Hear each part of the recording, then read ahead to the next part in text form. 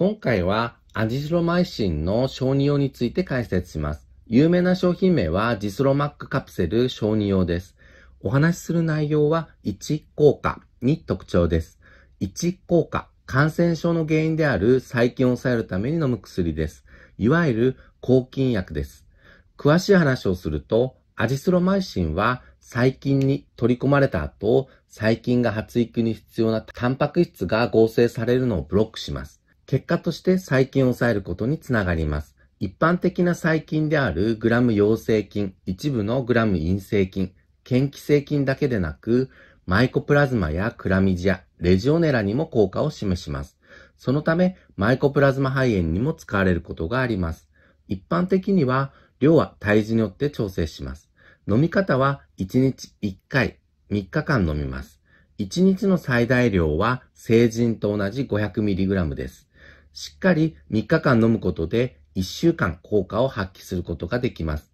そのため途中でやめないことが大切です。ただし、尿道炎などでは飲み方や量が異なったりするので、必ず指示に従ってください。この薬は食事の影響がないタイプの薬になります。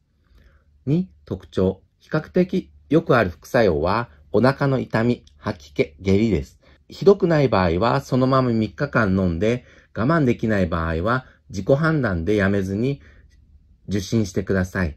また、飲んでいて棒となる人が時々いるので、自転車の運転などには注意してください。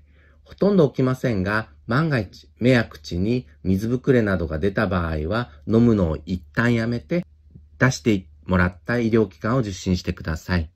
動画のご視聴ありがとうございました。ぜひ、グッドボタンやコメント、チャンネル登録お願いします。田舎の薬剤師チャンネルは、薬の説明が聞けて質問できるチャンネルです。さらに、リクエストもできて、メンバーシップでは優先的に返信し、薬以外のことや個人的な健康相談も可能です。とりあえず無料のチャンネル登録はとてもおすすめです。一番そばであなたの健康を応援したいと思っています。お大事に。